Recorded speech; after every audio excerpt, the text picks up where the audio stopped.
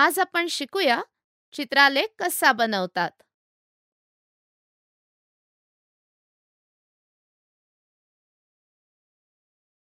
चला हे एका उदाहरणाने समजून घेऊ.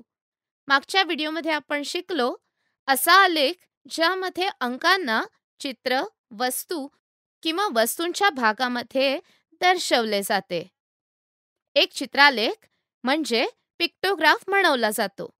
चला आज आपण समजून घेऊ हा कसा बनवतात. हे आपण एका उदाहरणाने समजून घेऊ. एका शाळेत विद्यार्थ्यांच्या आवडीनुसार सर्वात आवडत्या खेळांची खालील सारणी बनवली गेली. चला ह्या अंकांना चित्रालेखाच्या मदतीने दाखवू. चित्रालेख बनवण्यासाठी आपल्याकडे आकडेवारी असणे आवश्यक आहे. इथे आपल्याला अंक दिलेले आहेत. पण जर दिलेले नसतील तर आपल्याला आवश्यक आहे की आधी आवडत्या खेळांसंबंधित सूचना एकत्रित म्हणजेच कलेक्ट करू आणि ह्यावरून संख्यांचे अभिलेखन म्हणजे डेटा रेकॉर्डिंग करू. आता कारण की आपल्याला अंक दिलेले आहेत म्हणून आपण पुढे जाऊ शकतो. चित्रालेखात अंक दर्शवण्यासाठी आपण एखादे चित्र घेणे आवश्यक आहे. जसे आपण ह्या प्रकारचे सोपे चित्र घेऊ शकतो.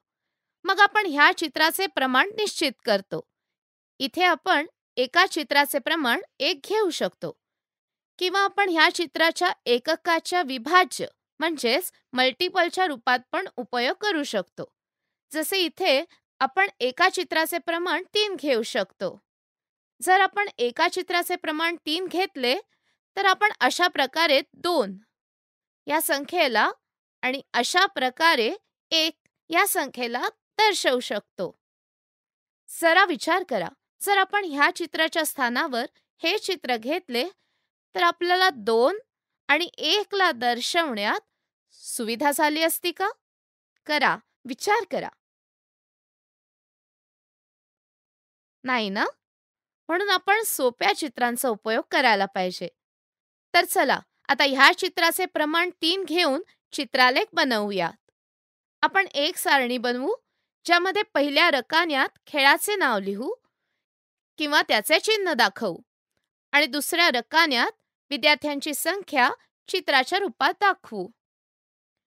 जसे इथे क्रिकेट बारा विद्यार्थ्यांना आवडते. या संख्येला आपण चित्राच्या प्रमाणात विभाजित करूया. इथे बारा भागिले तीन बरोबर चार येतात आणि बाकी शून्य मिळते. म्हणून आपण क्रिकेटच्या ओळीत विद्यार्थ्यांची संख्या अशा प्रकारे चार चिन्ह बनवून दाखवूयात. आता तुम्ही फुटबॉल खेळ आवडणाऱ्या विद्यार्थ्यांची संख्या दर्शवू शकाल?